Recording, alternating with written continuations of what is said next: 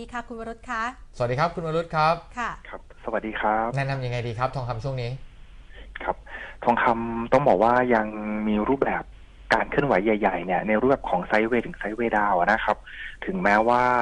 ราคาจะได้รับแรงหนุนจากกระแสการคาดการณ์แนวโน้มเกี่ยวกับการที่ธนาคารกลางสหรัฐหรือว่าเฟดอาจจะเปลี่ยนทิศทางในส่วนของการคุมเข้มนโยบายการเงิน หลังจากที่มีเจ้าหน้าที่ของธนาคารกลางสหรัฐ อย่างเช่นรองประธานเฟดนายริชาร์ดคลาริดาซึ่งแต่งตั้งโดยทรัมป์รวมทั้งในส่วนของประธานเฟดสาขาดัลลัสนายโรเบิร์ตแคปแลนออกมาแสดงถึงความกังวลเกี่ยวกับแนวโน้มเศรษฐกิจ ในฝั่งสหรัฐอาจจะได้รับผลกระทบจากการขยายตัวของเศรษฐกิจโลกที่ชะลอตัวลง ก็เลยทำให้นักลงทุนเริ่มจับตาดูว่า จะมีการส่งสัญญาณในรูปแบบดังกล่าว ซึ่งเป็นลักษณะของการส่งสัญญาณที่จะมีการชะลอในส่วนของการขึ้นดอกเบี้ยหรือเปล่า ซึ่งหากมีการส่งสัญญาณจากประธานเฟดท่านอื่นด้วย ก็อาจจะเป็นปัจจัยตัวหนึ่งที่หนุนให้ทองคำขยับขึ้น แต่นอกจากประเด็นเกี่ยวกับการขึ้นดอกเบี้ยของธนาคารกลางสหรัฐแล้ว นักลงทุนยังไปจับตาที่การทำสงครามการค้าระหว่างสหรัฐกับจีน ซึ่งสุดสัปดาห์ที่ผ่านมา ถึงแม้ว่าตัวประธานาธิบดีโดนัลด์ทรัมป์ของสหรัฐเอง จะส่งสัญญาณพึงพอใจเกี่ยวกับข้อเสนอของจีน ที่มีการเสนอในส่วนของรายชื่อสินค้า ที่จะมีการตกลงหรือเจรจา เพื่อลดความตึงเครียดทางการค้า แต่ไปไปมามาในส่วนของผู้แทนการค้าในฝั่งสหรัฐเอง ก็ยังมีการส่งสัญญาณ ท่าทีไม่ประนีประนอมในส่วนของการประชุมที่เอเปก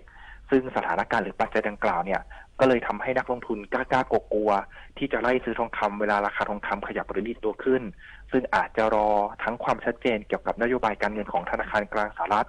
แล้วก็รอดูในส่วนของท่าทีเกี่ยวกับการเจราจาการค้าระหว่างสหรัฐกับจีน เพื่อใช้เป็นปัจจัยในส่วนของชี้นำในส่วนของตัวทองคำเพิ่มเติมครับ ค่ะาเรามองในลักษณะแบบนี้เราประเมินกรอบการเคลื่อนไหวยังไงดีคะ และกลยุทธ์การลงทุนที่เหมาะสม ขึ้นมาจังหวะนี้ขึ้นไปอีกสักหน่อยควรจะขายแล้วหรือยัง หรือว่าเราควรจะจัดสรรเงินที่เราจะลงทุนในทองคำยังไงดีนะคะ ครับ ในเบื้องต้นเนี่ยเรามองว่าราคาทองคำขยับขึ้น แล้วก็เริ่มมีแรงขายทำกำไรสลับออกมาบ้าง แต่ว่าแรงขายทำกำไรที่สลับออกมาเนี่ยไม่เยอะมากนัก เราให้จับตาแนวรับย่อยบริเวณพันสองร้อยสิบเจ็ดเหรียญดอลลาร์ต่อทรอยออนซ์ซึ่งวันนี้ทดสอบแล้วครั้งหนึ่งแล้วก็เกิดการ rebound หรือการดีดตัวขึ้นอีก ซึ่งถ้าราคายังทรงตัวรักษาระดับเอาไว้ได้ ประเมินว่าน่าจะมีโอกาสขยับขึ้นต่อ แต่ก็อาจจะไม่ได้ไกลมากนัก เราให้ในส่วนของแนวต้านในโซนพันสองร้อยสามสิบถึงพันสองร้อยสามสิบเจ็ดเหรียญดอลลาร์ต่อทอยส์ออน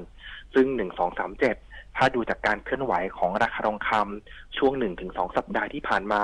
ต้องบอกว่าราคามีการทดสอบในส่วนของระดับดังกล่าว ประมาณสองครั้งแล้วไม่สามารถผ่านได้ ดังนั้นเนี่ยอาจจะต้องจับตาใกล้ชิดว่าราคาจะผ่านระดับดังกล่าวหรือเปล่า ถ้ายังไม่ผ่านก็ให้แบ่งขายทำกำไร แล้วก็รอการอ่อนตัวลงมาของราคา เพื่อทำการเข้าซื้อใหม่ แต่ว่าถ้าราคาผ่านได้เราประเมินในส่วนของโซนแนวต้านถัดไป เป็นบริเวณพันสองร้อยสี่สิบสี่เหรียญดอลลาร์ต่อทอยส์ออน ซึ่งก็อาจจะมีแรงขายทำกำไรสลับออกมาอีก ก็อาจจะใช้เป็นลักษณะของการลงทุนระยะสั้น จากการแกว่งตัวในรูปแบบของ sideway หรือ sideway down ก็เน้นการลงทุนระยะสั้นเป็นหลักในช่วงนี้ครับอืมครับผมค่ะถ้าเกิดประเมินมาเป็นขายปลีกบ้านเรานี่กรอบอยู่ตรงไหนครับคุณวรุษครับครับ ในส่วนของถ้าเป็นทองคำแท่ง 96.5 นะครับ บริเวณแนวรับ 1,217 เหรียญดอลลาร์ต่อทรอยออนซ์ น่าจะอยู่ราวๆ 19,000 บาทต่อบาททองคำอืมแล้วก็บริเวณ 1,237 จะอยู่บริเวณ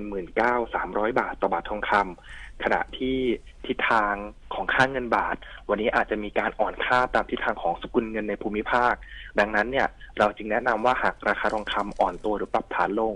ก็อาจจะเป็นลักษณะของการเข้าเสียงซื้อเล่นสั้น น่าจะ ถือว่าเป็นกลยุทธ์ที่ปลอดภัยกว่า แล้วก็น่าจะได้รับแรงหนุนจากที่ทางค่าเงินบาท ที่มีการอ่อนค่าในช่วงสั้นด้วยครับครับค่ะผมได้ครับ วันนี้ขอบพระคุณมากเลยครับ คุณวรุษครับ ขอบคุณครับค่ะ สวัสดีครับ ส่วนราคาทองคำในบ้านเรา